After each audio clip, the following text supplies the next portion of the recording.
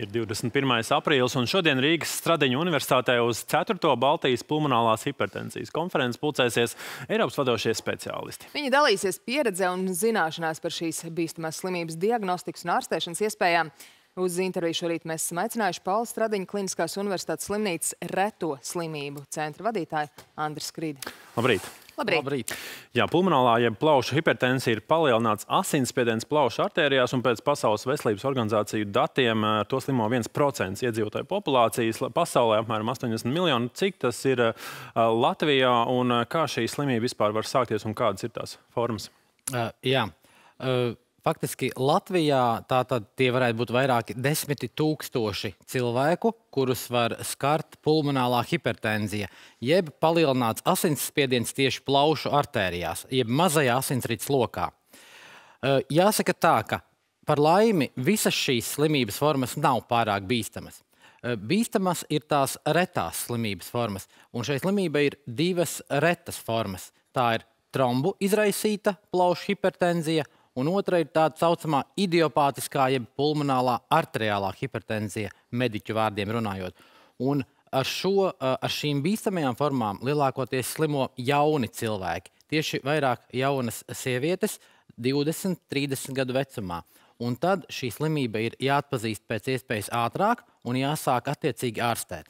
Jūs sakat, varētu būt 10 tūkstoši Latvijas iedzīvotāji, kam ir šī diagnoze. Cik ir uh, reāli reģistrēti? Mēs šobrīd reģistrējam tieši šīs retās formas, re, kā, kā reto slimību centrā. Mm -hmm. Pārējās formas mēs, protams, arī ārstējam. Reģistrēti mums ir faktiski šobrīd vairāk, mazliet vairāk kā 300 pacientu ar šīm retajām plaušu hipertenzijas formām. No tādām retajām slimībām kopumā plaušu hipertenzija ir tā biežākā. Varbūt mums ir tāda reto slimību pacienti, kuri tikai viens vai divi uh, Latvijā. Tos arī mēs, protams, uh, ārstējam, bet šeit, eh, tā kā tā ir viena no biežākajām, mēs rīkojam arī speciāli šo eh, Baltijas konferenci. Šī ir jau ceturtā. Mēs aizsākām šo ciklu eh, pirms vairākiem gadiem. 2016. gadā bija Rīgā pirmā Baltijas konference, mm. kur visi Baltijas kolēģi viesojās, un arī no Skandināvijas valstīm, no Francijas, no Čehijas, no Polijas, tā kā mm. no vairākām valstīm, kur mums ir sadarbība. Tā kā, tā kā tā ir reta slimība, mums ir ļoti nepieciešama šī sadarbība ar ārvalstu ekspertiem.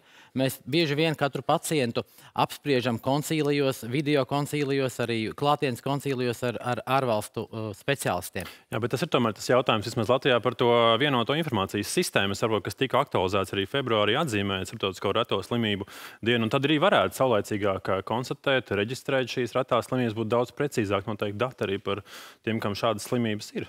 Uh, jā, nu šeit, Cik daudz laika tas prasa un kādus resursus? Uh, šeit vissvarīgāk ir skaidrs, ka aizdomāties. Redziet, um, es teiktu tā, ka uh, retās slimības, uh, plaušu hipertenzija varbūt ir tā kā tāda zebra. Jūs iedomājieties, jūs dzirdat, uh, jūs dzirdat zirgu dipoņu, uh, jūs dzirdat pakavu skaņu, ja?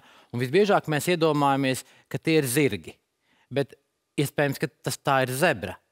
Un, respektīvi, to, ko es gribu teikt, mēs dzirdam, mēs pacients mums stāsta vienu simptomu, piemēram, elpas trūkumu vai nogurumu. Mēs visbiežāk domājam, ka varbūt tā ir bronhiāla astma vai sirds mazspēja, bet galvenais ir zināt, eh, ka tā var būt arī pulmonālā hipertenzija vai amiloidoze vai kāda cita retā slimība.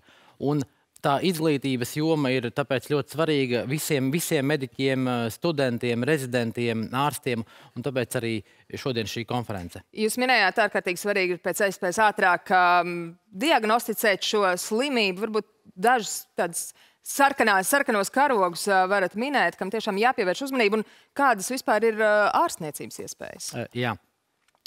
Sarkanie karogi, kā jau es teicu, diemžēl ir tādi simptomi, kuri ir simtiem citu slimību. Respektīvi, elpas trūkums, nogurums, pātrināts pulss, sirdsklauves. Tie, tie ir tie simptomi, kuriem būtu jāpievērš uzmanība. Zilganas lūpas ir maz, mazliet jau specifiskāks simptoms tieši šai uh, bīstamajai slimībai.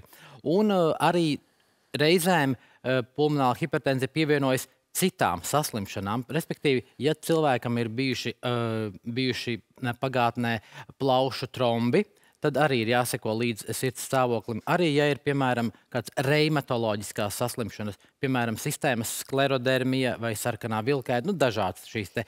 Un tad arī faktiski tas bīstamākais, kas var notikt, kas var attīstīties, ir uh, plaušu hipertenzija. Bet nevajag baidīties. Galvenais ir laicīgi griezties, uh, griezties um, plaušu hipertenzijas centrā, kas mums ir Stradiņas slimnīcā. Jā, cik efektīvi var ārstēt šo slimību? Jāsaka tā, ka šobrīd ir tādi trīs, tri, mums ir šobrīd medikamenti, kas ir no valsts apmaksāti, kas skarš šo slimību caur trīs dažādiem ierosinātājiem, trīs dažādiem patoģenētiskiem ceļiem, mēs medicīnā sakām. Mhm. Un vēl labā ziņa ir tā, ka, nu, tāpēc, ka mēs sadarbojamies starptautiski, mums ir arī mēs visi jaunie medikamenti, kas pasaulē nāk, arī mūsu pacientiem tos ir iespējas saņemt caur dažādiem klīniskiem pētījumiem. Respektīvi, to, kas aptiekā varbūt būs pēc septiņiem, desmit gadiem, mūsu pacienti var saņemt jau šobrīd. Bet jāsaka, nu, skaidrs, ka reizēm medikamentozā terapija nepalīdz un eh, reizēm ir nepieciešama plaušu transplantācija. Jūs eh, atceraties, varbūt eh, deviņus gadus atpakaļ, nu jau ir pagājuši deviņi gadi, kad arī, arī Latvijas televīzija iesaistījās, un es ļoti labi atceros toreiz Judīte Čunka pavadīja mūs ar Zani uz Austriju, no lidostā bija televīzijas sižets, un, un redziet, arī plaušu transplantācija ir vajadzīga, un šī slimība var tikt uh, ārstēta. Arī dažādas operācijas, uh, gan pulmonālā endarterektomija, gan balonu pulmonāla angioplasija. Šāds dažāds ļoti sarežģīta, ļoti komplicēta ārstēšanas schēma, kur var notikt tikai tādā komandā. Mhm. Ja mēs runājam par retām slimībām kopumā, uh, nu, raugoties to, ko, kas ir piešķirts šī gada valsts budžetā papildu reto slimību ārstēšanai, diagnostikai, kādu tendenci tas iezīmē un ko ar šo finansējumu, papildu finansējumu var arī panākt? Jā, jāsaka, nu, skaidrs, ka mums ir izstrādāts reto slimību plāns nākamajiem trīs, četriem gadiem. No šī plāna, šis plāns kopumā prasa vairākus desmitus miljonus eiro.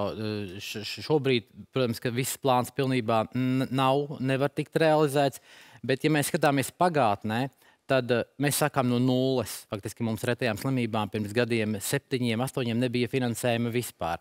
Tad šobrīd uh, tie ir vairāk kā desmit miljoni tieši zālēm, dažādu uh, specialitāšu zālēm, gan neiroloģijas retajām slimībām, gan reimatoloģijas, uh, gan kardioloģijas. Ja. Tā kā attīstība pamazām notiek, bet skaidrs, ka numur viens, tieši tāpat kā onkoloģijā, retajās slimībās medikamenti ir, uh, mēdz būt dārgi un medikamenti būtu tas, kas, eh, kas medikamenti un arī uh, personāls. Mums trūkst, protams, uh, medmāsu un, un ārstu, jo reto, ar retajiem, retajām slimībām strādāt ir grūti, ir grūti, un tāpēc nepieciešams ir ļoti augsti kvalificēti, izglītoti speciālisti.